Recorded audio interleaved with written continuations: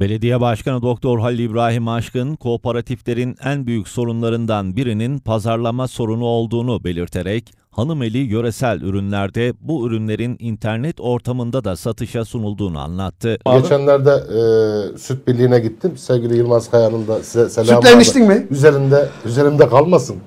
E, şeyle ilgili, hanımeli ile ilgili gerçekten e, hani fiyat şeyi yapıyoruz, ayarlaması.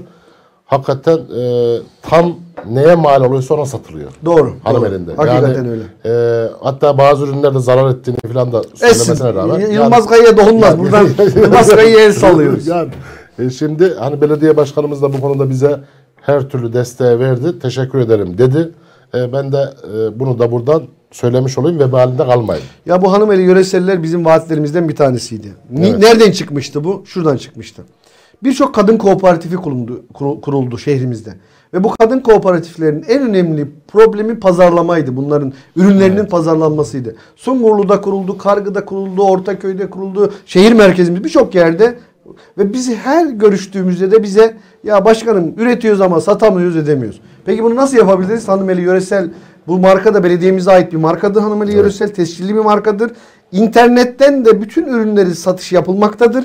İnternetten de isteyen e, sadece hemşehrilerimiz değil bizi dinleyen herkes Online sipariş verebiliyor. Türkiye'nin her tarafından sipariş verebilir. Halk et ürünlerinin de burada satışa sunulduğunu anlatan Başkan Aşkın, halk ette üretilen kavurmaların tarım kredi kooperatifleri aracılığı ile her yerde satışa sunulduğunu ifade etti. Hanımeli yöreseli yaparken işbirliğine ve diyaloğa açık yapımız gereği. Benim yapım öyle. Herkes de işbirliğine ve diyaloğa açık. Buyurun oturalım konuşalım en güzelini yapalım. Bizim bütün hayat felsefemiz de bunun üzerine kuruldur.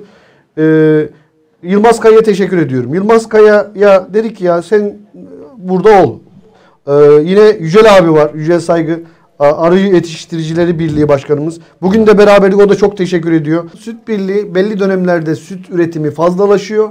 Bunları günlük taze olarak tüketimi yapılamıyor. Süt olarak da tüketimi yapılamıyor. O zaman bunların mutlaka tereyağına, e, peynire, peynir türlerine dönüşmesi lazım.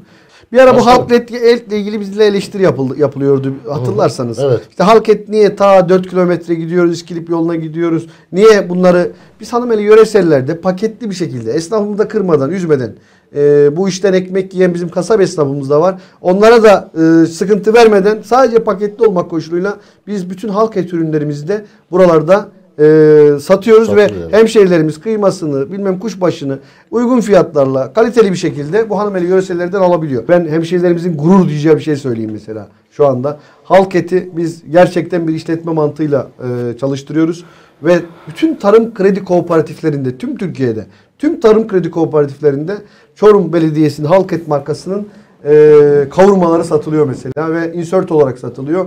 E, bu da bizim için bir gurur vesilesi onu da söyleyeyim.